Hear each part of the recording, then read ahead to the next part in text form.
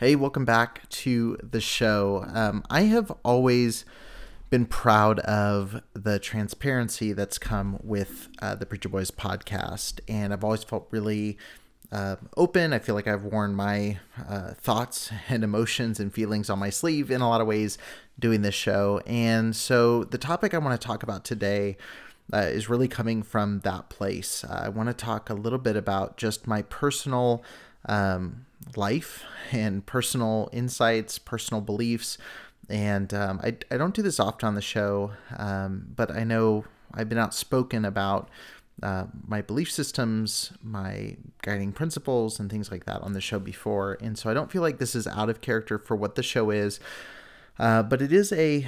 Um, it is definitely going to be a difficult episode. Um, I don't know how long or how short this will be, but I feel like uh, while I don't owe anybody uh, any information about uh, what I think or what I believe or, or things like that, it has been such a part of the identity of the show and of myself as a host that I just felt uneasy uh, continuing to produce episodes without addressing this. And um, I'll go ahead and talk about it. So, long story short, uh, I would no longer consider myself a Christian or a believer or fill in the blank, uh, any of those titles. Um, I'll kind of give some context as to the why and the what, but that's kind of the short version. Um, it's probably why you clicked on this episode or this video because I indicated somewhere in the title that that was the case. Um, and like I said, I don't owe anybody that information. And I want to say from the beginning, this has no bearing on the issue of abuse within churches. This has no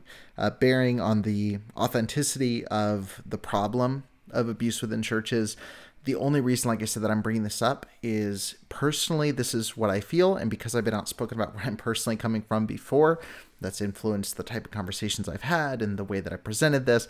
Uh, I, I do feel like I wanted to share it. But if you're not interested in hearing that perspective, I totally understand. If you're not interested in hearing uh, anything about me personally, you're just interested in the weekly stories and things like that, that's totally fine. You're more than welcome to skip this.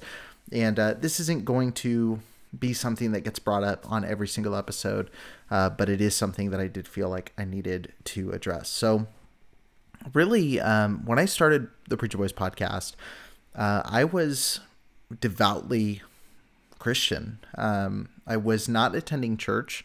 Um, I was not uh, part of a local body, um, but that was out of frustration with abuses and things that were happening within churches, and I didn't feel comfortable for a variety of reasons attending a local fellowship. But personally, um, I felt very strongly about my faith. I was a strong believer. I was took the Bible literally, um, and for all intents and purposes, really believed, um, you know, as strongly as ever. Um, I would say I was a fundamentalist, but not in the sense of being hateful and cruel and things like that.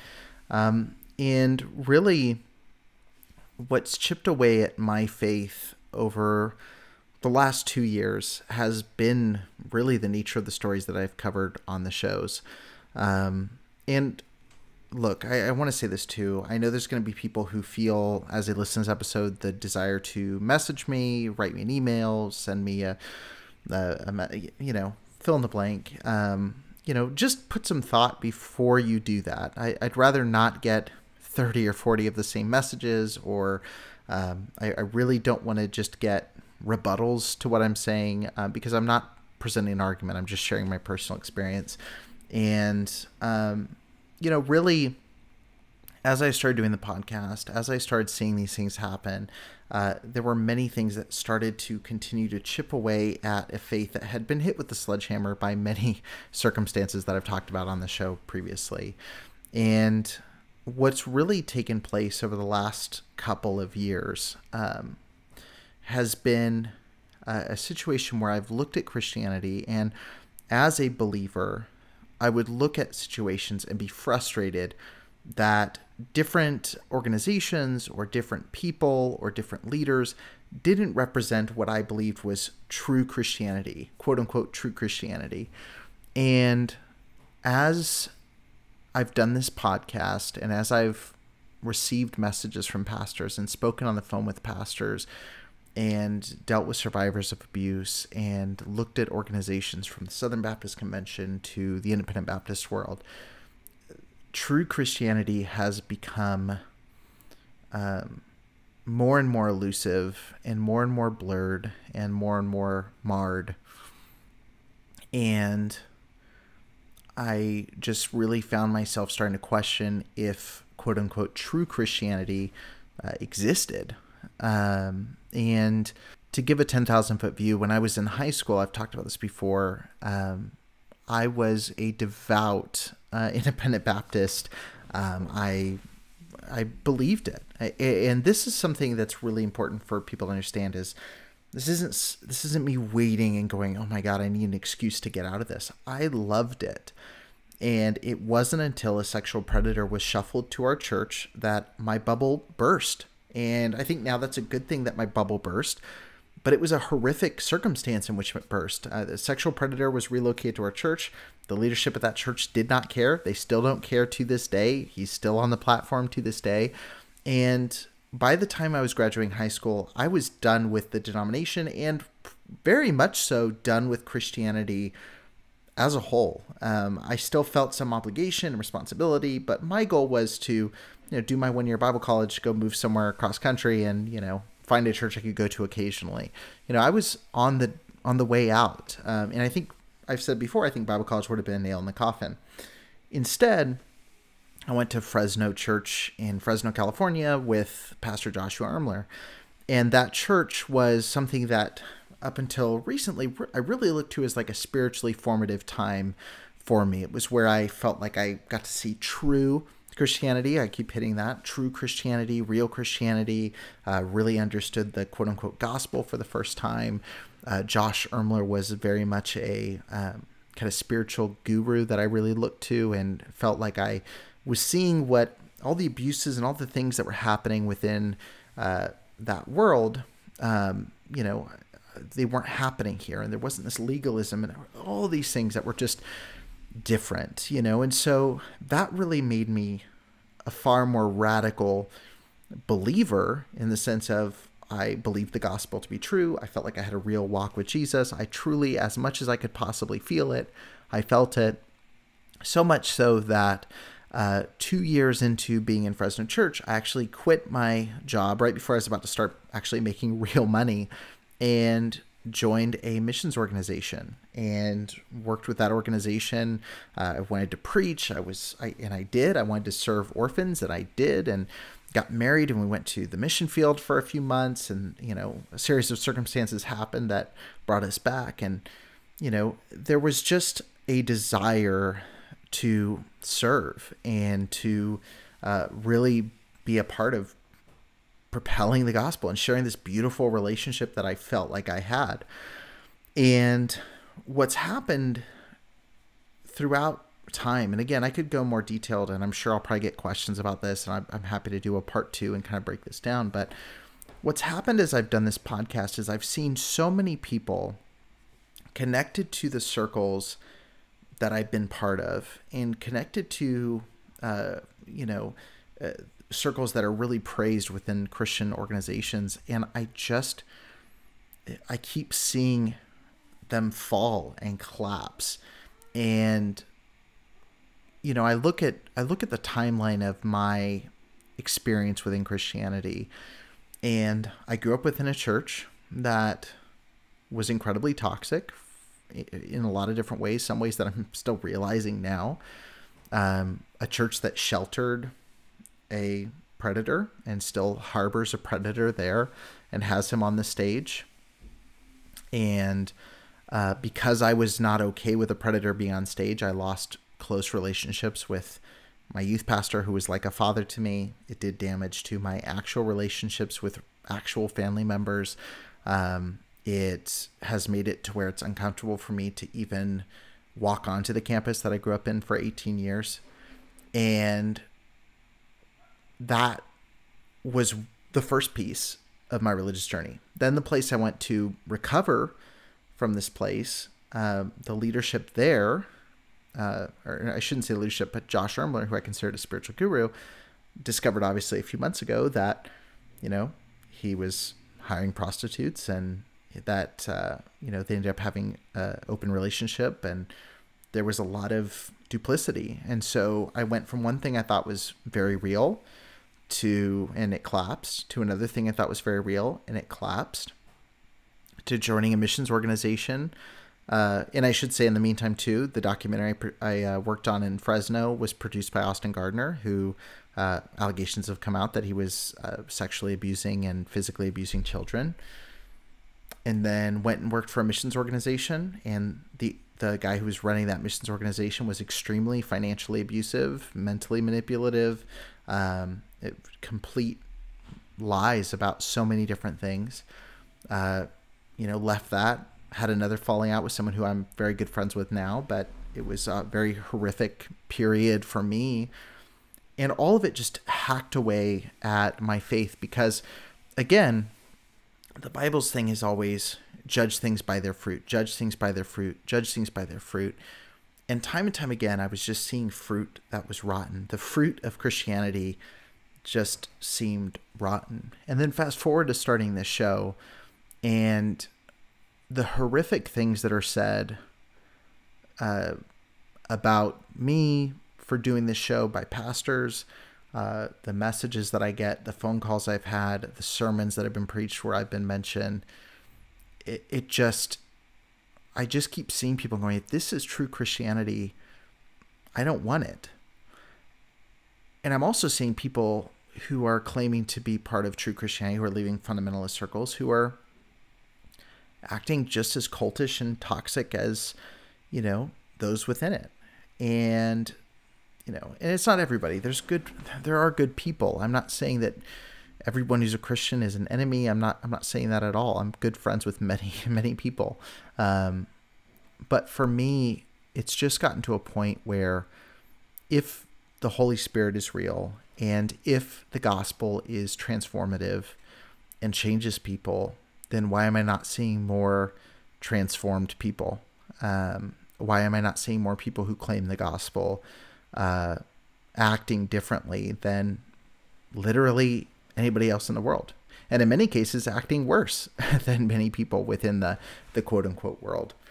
And so, uh, and, and I apologize if this is messy or, or uh, you know, seems out of order, or, uh, but, but for me, it just, it's gotten to a point where I, I keep talking about this quote unquote true Christianity and this true gospel and this real version of what this is supposed to be and I feel like the minute that I get my hands on what it is, it I realize it's corrupted, it's rotten to the core. And so for me, it it really chipped away at my faith in a big way. Um, and then also just I don't want to go into a big thing about this, but just so many questions for me that just can't be answered. Um, I interviewed Amanda Montell, who wrote the book Cultish, um, our episode actually drops uh, Sunday.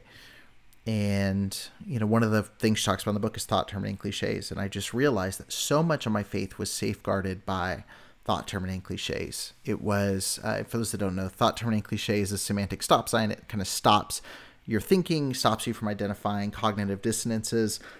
And there were so many things where I would do that, where something really horrific would happen in the church God works in mysterious ways, or uh, God is the judge, or um, you know you're just bitter. You know um, you need to be forgiving, and um, you know uh, when I was in Fresno, it was you just don't seem to really understand the gospel. It was just always the problem was me, and not the thing that I was critiquing or asking questions about.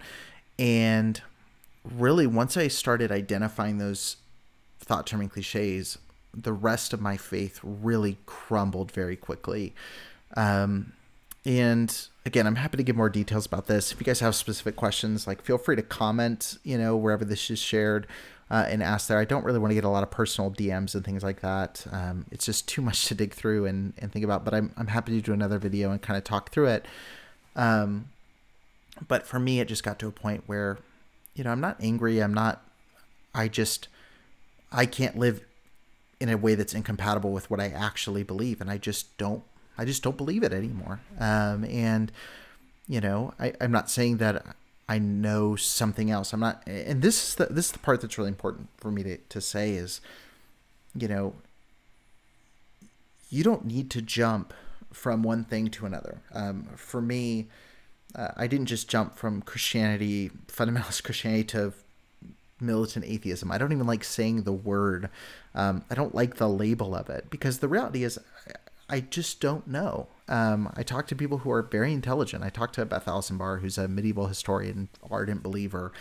You know, I I I am compelled by things that she says. Um, I listen to other people, you know, who are non-believers and very compelled by certain things that they say, and I'm okay. For the first time in my life, I feel really okay living in this kind of gray area um, of I don't know. And again, I'm not telling people this is what they should believe. I'm not telling you if you're listening and you're one way or the other, you know, to believe differently. But I would say uh, one thing that I that I have seen is that a lot of people who've gone through this journey, and I'm not the first person to deconstruct their faith or to leave the faith, is many people leave one version of fundamentalism in exchange for another. And I know when this video comes out, uh, there's going to be two types of fundamentalists that respond to it, and both are going to annoy me. There's going to be people who listen to this episode that are going to write me and say, finally, bro, you're an atheist now. Uh, I'm so happy you left Christianity. Uh, you know, screw those guys, blah, blah, blah, blah, blah. And the toxic atheist fundamentalist is going to respond with great glee at this. Um, there's also going to be fundamentalists who are going to see this and uh, with a different form of glee. Uh, they're going to say, See, I knew this is why Eric started the Preacher Boys podcast because he was a closeted atheist and he um, wanted to destroy people's faith, and he spent two years doing that. And that's absolutely not the case. Uh, I was as true a believer as you could possibly be. Um, and again, I know people are going to throw out a thought terminating cliche and say, Oh, you weren't a true believer. Um, you didn't truly understand it. I did. I, I read the books. I I had the personal relationship uh, as much as can be described.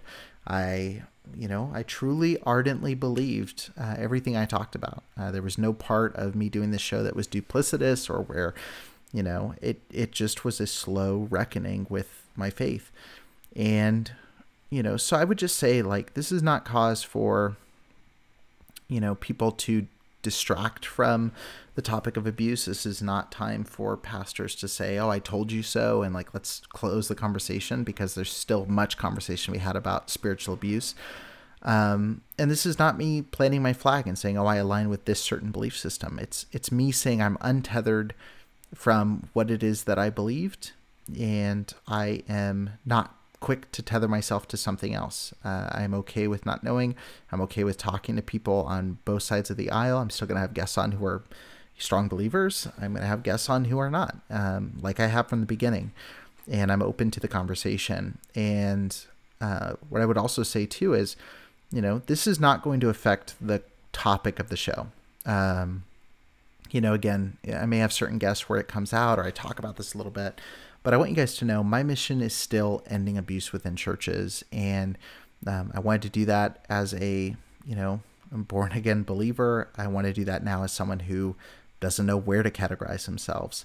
But I know there's so many people wrestling with their faith, so many people that, um, you know, again, uh, you know, are trying to deal with this. And I want you guys to know you're not alone. Um, this is something that's been very difficult for me. And I'll kind of close on this, but I've said it time and time again. The biggest sledgehammer to my faith was not rock bands or Hollywood or all the things I was warned about in Sunday school. Um, it has been the church. Uh, the church more than anything has single-handedly destroyed my faith and i have no desire to uh, attend a church again uh, be a part of a church again and the quote unquote gospel has been so marred in my mind and the fruit of christianity has it just feels so rotten to me that i just could not justify um, at this point aligning with anything in that realm.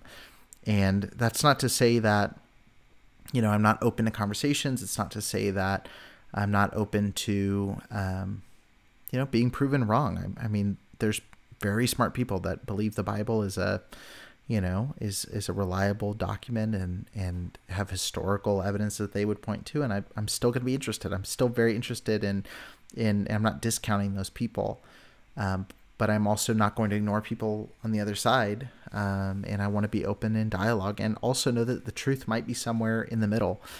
Um, but I wanted to just be open. I know this was a, a kind of random episode, but I felt uncomfortable progressing with the show without addressing what has been an elephant in my room, uh, something that I feel especially for the past few weeks. And, and really, it was some of the stuff that happened with Josh Hermler and with Fresno and with Austin Gardner and with the responses I saw of people, uh, pastors who were gleefully saying, "Oh, look, your buddy did this," and uh, just the toxic evangelical culture just drove the final nail into the coffin of my faith, and I just wanted to share that, and I wanted to share that that's where I'm coming from. Uh, I know there's some people who are probably going to stop listening to the show um, because they can't see past that. They wanted me to be this Christian champion of ending abuse.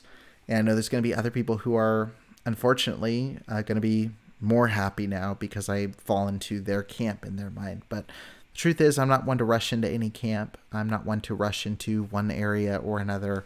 Um, I just want to keep having conversations. And that's really what the show is about. It's having conversations, hearing different perspectives, and uh, being open and transparent on my end. Again, I know I don't owe anybody an explanation for my spiritual walk. I don't owe anybody an insight into my personal life whatsoever.